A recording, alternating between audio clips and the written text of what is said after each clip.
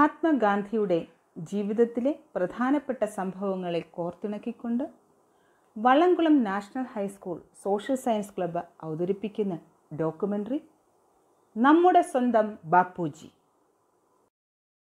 ആയിരത്തി എണ്ണൂറ്റി അറുപത്തി ഒൻപത് ഒക്ടോബർ രണ്ടിന് ഗുജറാത്തിലെ പോർബന്ദറിൽ കരംചന്ദ് ഗാന്ധിയുടെയും പുത്ലിബായിയുടെയും നാലാമത്തെ മകനായി ഗാന്ധിജി ജനിച്ചു.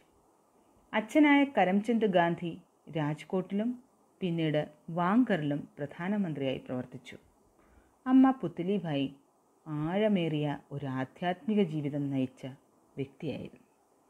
പഠിക്കാൻ അത്ര മിടുക്കനായിരുന്നില്ല ഗാന്ധിജി. കൊച്ചുപ്രായത്തിലെ മാതാപിതാക്കളോടും മറ്റുള്ളവരോടും നുണ പറയാറില്ലായിരുന്നു. ഗാന്ധിയെ ആ ശീലത്തിലേക്ക് നയിച്ചത് രാജ ഹരിശ്ചന്ദ്രൻ എന്ന നാടകമാണ്. തന്റെ പതിമൂന്നാം വയസ്സിൽ കസ്തൂർബ എന്ന സമപ്രായക്കാരിയുമായി വിവാഹിതനായ അദ്ദേഹം വളരെ അസഹിഷ്ണുത മനോഭാവമുള്ള ഒരു ഭർത്താവായിരുന്നു. ഒരു സാധുവായിരുന്നെങ്കിലും ബാലികയായിരുന്ന കസ്തൂർബയ്ക്ക് സമപ്രായക്കാരനായിരുന്ന ഭർത്താവിന്റെ ഈ മനോഭാവം അസഹനീയം. നിരക്ഷരയായ കസ്തൂർബയെ പഠിപ്പിക്കാനുള്ള ഗാന്ധിജിയുടെ ശ്രമങ്ങളും വിജയിച്ചില്ല.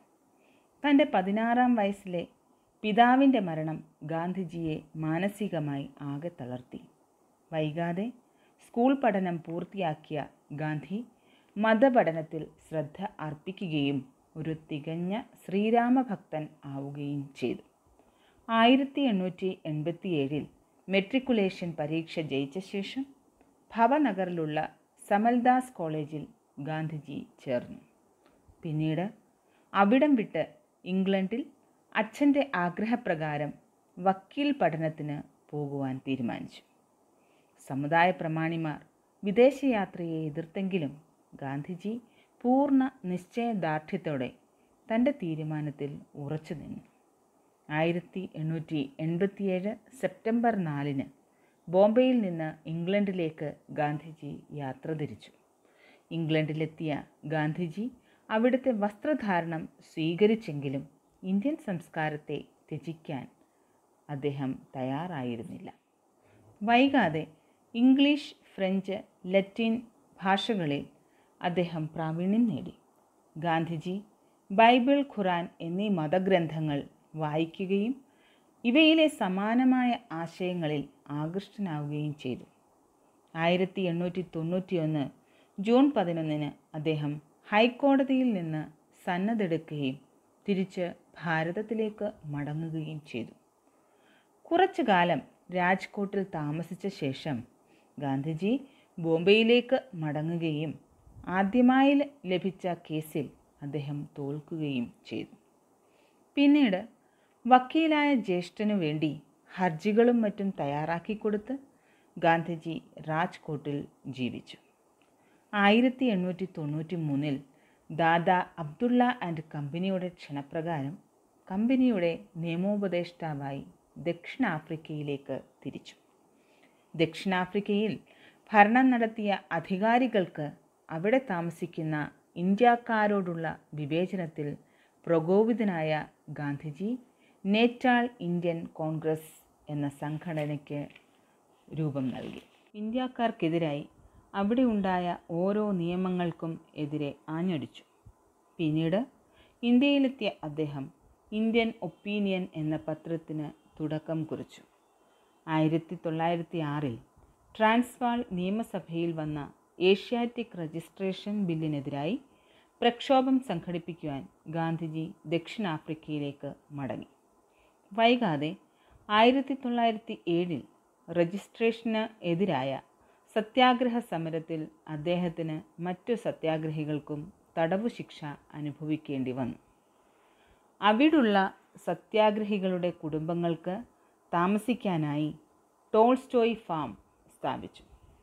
ഗാന്ധിജിക്ക് പിന്തുണയേകി ഗോപാലകൃഷ്ണ ഗോഖലെ ദക്ഷിണാഫ്രിക്കയിൽ എത്തി. പിന്നീട് സരോജിനി നായിഡുവുമായി പരിചയപ്പെടുകയും ഒരുമിച്ച് പ്രവർത്തിക്കുകയും ചെയ്തു. ഗോഖലെയും ഗാന്ധിജിയും ഭാരത സ്വാതന്ത്ര്യ സമര രംഗത്തേക്ക് സജീവമായി തിരിച്ചെത്തി. ഇന്ത്യയിലെത്തിയ ഗാന്ധിജി ഗോഖലയുടെ നിർദ്ദേശപ്രകാരം ഭാരതം മുഴുവൻ സഞ്ചരിച്ച് ഇംഗ്ലീഷുകാരുടെ ചൂഷണങ്ങളെപ്പറ്റി മനസ്സിലാക്കാൻ തീരുമാനിച്ചു. ഗോഖലയുടെ നിര്യാണത്തിന് ശേഷം ഗാന്ധിജിയുടെ നേതൃത്വത്തിൽ പല വിദ്യാലയങ്ങളും ആശുപത്രികളും പ്രവർത്തിച്ചു തുടങ്ങുകയും അവ ജനങ്ങൾക്ക് സൗജന്യമായി ചികിത്സയും വിദ്യാഭ്യാസവും നൽകുകയും ചെയ്തു. ആയിരത്തി തൊള്ളായിരത്തി പതിനഞ്ച് അഹമ്മദാബാദിൽ സത്യാഗ്രഹ ആശ്രമം സ്ഥാപിച്ചു. അഹമ്മദാബാദ് മിൽ തൊഴിലാളികൾക്കായി സമരം നടത്തി. തുടർന്ന് ആയിരത്തി തൊള്ളായിരത്തി പതിനേഴിൽ സത്യാഗ്രഹാശ്രമം സബർമതിയിലേക്ക് മാറ്റി. ചമ്പാരൻ ജില്ലയിലെ കൃഷിക്കാരെ രക്ഷിക്കാനായി സത്യാഗ്രഹ സമരം നടത്തി. ആയിരത്തി തൊള്ളായിരത്തി പത്തൊൻപതിൽ പാസ്സായ റൗലറ്റ് ആക്ടിനെതിരെ ഗാന്ധിജി ഒരു ദിവസത്തെ ഹർത്താൽ ആഹ്വാനം ചെയ്തു. അങ്ങനെ ആദ്യമായി ഭാരതത്തിൽ ഹർത്താൽ നടന്നു. ജാലിയൻ വാല ബാഗിൽ ഒത്തുകൂടിയ ആയിരങ്ങൾക്ക് നേരെ ബ്രിട്ടീഷ് സർക്കാർ നിറയൊഴിച്ചു. ഇതിൽ പ്രതിഷേധിച്ച് ഗാന്ധിജി നിസ്സഹകരണ പ്രസ്ഥാനത്തിന് നേതൃത്വം നൽകി. ആയിരത്തി തൊള്ളായിരത്തി ഇരുപത് ഓഗസ്റ്റിൽ ശക്തമായ ഖിലാഫത്ത് പ്രസ്ഥാനവുമായി ബന്ധപ്പെട്ട് ഗാന്ധിജി കോഴിക്കോട്ടെത്തി. ആയിരത്തി തൊള്ളായിരത്തി ഇരുപത്തി ഒന്നിൽ വിദേശ വസ്തു ബഹിഷ്കരണ പ്രക്ഷോഭം ആരംഭിച്ചു. പ്രക്ഷോഭങ്ങൾ സമാധാനപരമായി മുന്നോട്ടു പോയെങ്കിലും പിന്നീടുണ്ടായ പോലീസ് വെടിവയ്പ് ജനങ്ങളെ അക്രമാസക്തരാക്കുകയും യു പിയിലെ ചൗരി ചൗരയിലുള്ള പോലീസ് സ്റ്റേഷന് അവർ തീ വയ്ക്കുകയും ചെയ്തു. അതോടെ ഗാന്ധിജി നിസ്സഹകരണ പ്രസ്ഥാനം നിർത്തിവെച്ചു. സ്വയം ശിക്ഷ എന്ന നിലയിൽ ഉപവാസവും തുടങ്ങി. മാർച്ച് പത്തിന് രാജ്യദ്രോഹ കുറ്റം ചുമത്തി സർക്കാർ അദ്ദേഹത്തെ അറസ്റ്റ് ചെയ്തു. തുടർന്ന് ആയിരത്തി തൊള്ളായിരത്തി ഇരുപത്തിനാലിൽ ജയിൽ മോചിതനായ അദ്ദേഹം ഹിന്ദു മുസ്ലിം ഐക്യത്തിനു വേണ്ടി ഇരുപത്തൊന്ന് ദിവസത്തെ ഉപവാസം നടത്തി. പിന്നീട് ആയിരത്തി തൊള്ളായിരത്തി ഇരുപത്തിയെട്ട് ഫെബ്രുവരിയിൽ സർദാർ വല്ലഭായ് പട്ടേലിന്റെ നേതൃത്വത്തിൽ നടന്ന ബർദോളിയിലെ സമരത്തിൽ ഗാന്ധിജി സത്യാഗ്രഹം ആരംഭിക്കുകയും സമരം വിജയിക്കുകയും ചെയ്തു. ആയിരത്തി തൊള്ളായിരത്തി ഇരുപത്തിയൊൻപതിൽ ലാഹോർ കോൺഗ്രസ് സമ്മേളനത്തിൽ ഇന്ത്യയുടെ പൂർണ സ്വാതന്ത്ര്യത്തിനു വേണ്ടിയുള്ള പ്രമേയം അവതരിപ്പിച്ചു പാസാക്കി.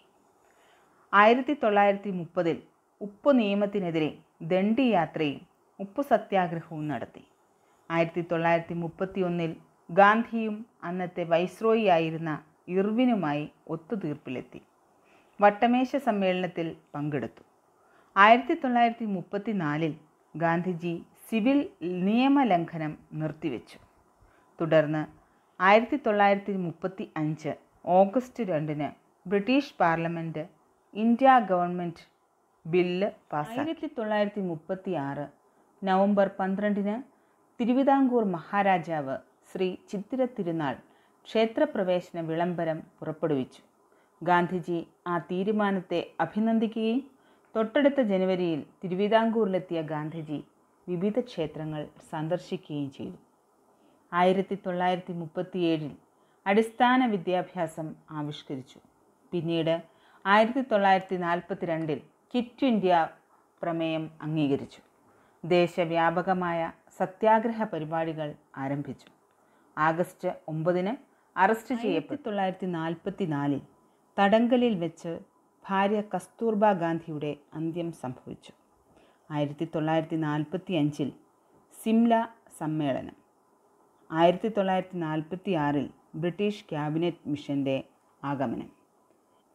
ആയിരത്തി തൊള്ളായിരത്തി നാൽപ്പത്തിയേഴ് ജൂലൈ പതിനെട്ടിന് ഇന്ത്യയുടെ സ്വാതന്ത്ര്യ ബിൽ ബ്രിട്ടീഷ് പ്രധാനമന്ത്രിയായ ക്ലെമന്റ് ആറ്റ്ലി പാസാക്കി അങ്ങനെ നീണ്ട പ്രക്ഷോഭങ്ങൾക്ക് ശേഷം ഇന്ത്യയ്ക്ക് ആയിരത്തി തൊള്ളായിരത്തി നാൽപ്പത്തിയേഴ് ഓഗസ്റ്റ് പതിനഞ്ചിന് സ്വാതന്ത്ര്യം ലഭിച്ചു.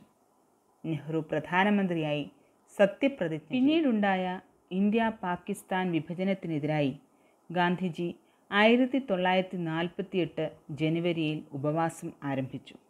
ജനുവരി മുപ്പതിന് ഡൽഹിയിലെ ബിർള ഹൗസിൽ പ്രാർത്ഥനാ യോഗത്തിൽ പങ്കെടുക്കാൻ പോകവേ നാഥുറാം ഗോഡ്സെ എന്ന വ്യക്തി അദ്ദേഹത്തിന് നേരെ നിറയൊഴിച്ചു.